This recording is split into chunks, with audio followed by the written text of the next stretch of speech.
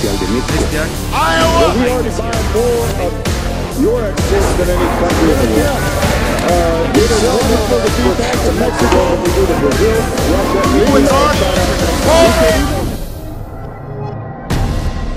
va a ser algo importantísimo que va a darle una gran infraestructura industrial.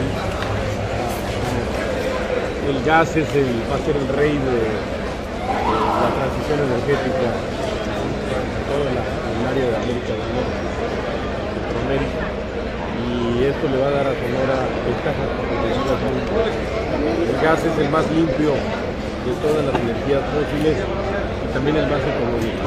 Es una obra que no se nota porque es una obra que se entierra, pero va a traer grandes beneficios por lo que representa de eficiencia energética para las plantas de luz y de para que vengan empresas. Es una obra que se está haciendo bajo la rectoría de la Secretaría de Energía del Gobierno Federal y con la, la Pemex, CFE y participación privada.